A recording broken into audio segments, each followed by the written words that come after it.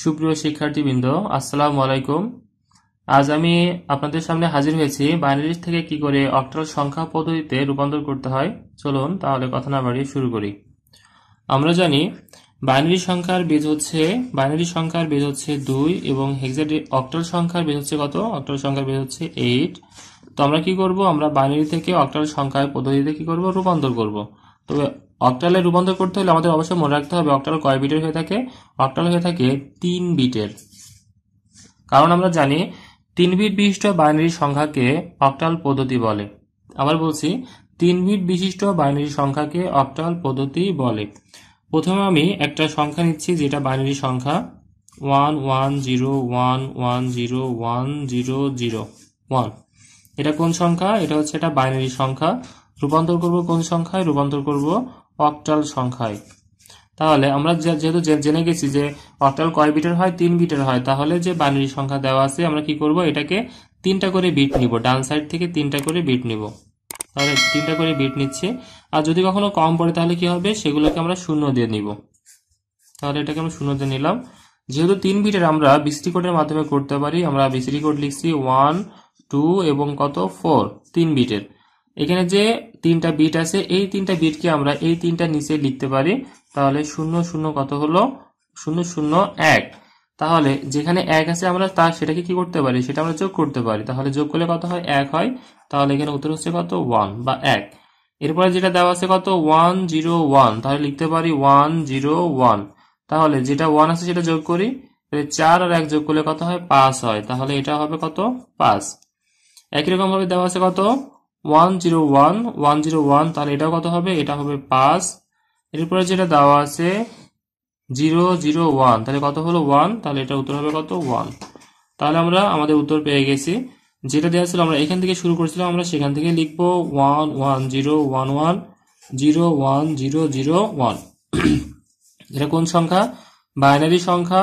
আর যে উত্তরটা পেয়েছি সেটা কোন সংখ্যা? এইটা। তাহলে আমরা এটা লিখতে পারি ওয়ান ডাবল ফাইভ ওয়ান কোন সংখ্যা এটা? এটা হচ্ছে অক্টাল সংখ্যা।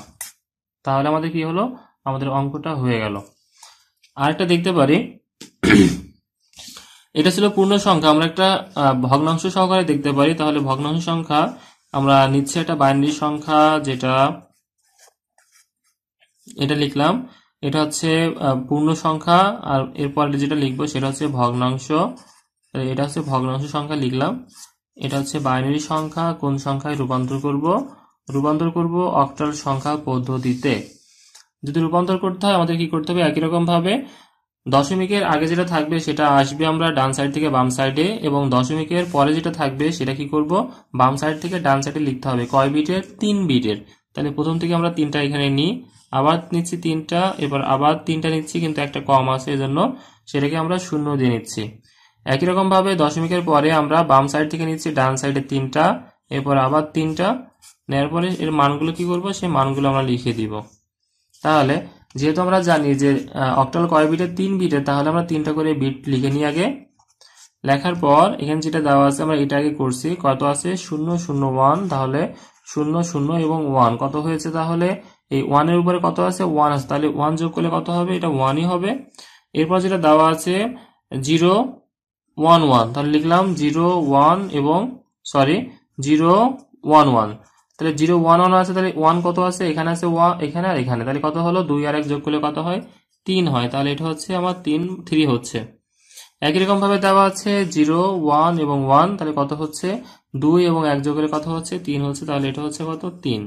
দশমিকের জায়গায় দশমিক লিখলাম, এরপর যেটা দেওয়া আছে, একই রকম ভাবে এই তিনটাকে আমরা এর নিচে লিখতে পারি। লেখার পরে এখানে ওয়ান আছে এবং এখানে ওয়ান আছে। তাহলে এটাকে যোগ করি চার আর এক। যোগ করলে কত হয়? পাঁচ হয়। তাহলে এটা হচ্ছে পাঁচ। একই রকম ভাবে আবার লিখি শূন্য, এক, শূন্য। তাহলে কত হলো? মাঝে কত আছে? দুই আছে। তাহলে এটাকে আমরা কত লিখতে পারি? দুই লিখতে পারি। তাহলে আমার অঙ্কটা হয়ে গেছে। আমরা এই সম্পূর্ণ যেটা ছিল সেটাকে আমরা লিখছি one one, zero, one one, zero zero, one. দশমিকের জায়গায় দশমিক, one, zero one zero one, zero. এটা আমার কোন সংখ্যা? এটা বাইনারি সংখ্যা। আর উত্তর যেটা পেয়েছি সেটা হচ্ছে এটা। কত হয়েছে? ডাবল থ্রি ওয়ান কত? Point five two. কোন সংখ্যা? অক্টাল সংখ্যা। তাহলে এটাই হচ্ছে আমাদের নিয়ম। যদি কোনো সময় বাইনারি সংখ্যা থেকে অক্টাল সংখ্যায় রূপান্তর করতে বলে, তাহলে আমাদের কি করতে হবে? আমাদের একই রকম ভাবে এভাবে রূপান্তর করতে হবে। যদি ভিডিওটা ভালো লেগে থাকে, অবশ্যই লাইক কমেন্ট এবং সাবস্ক্রাইব করতে অবশ্যই ভুলবেন না। ধন্যবাদ সবাইকে।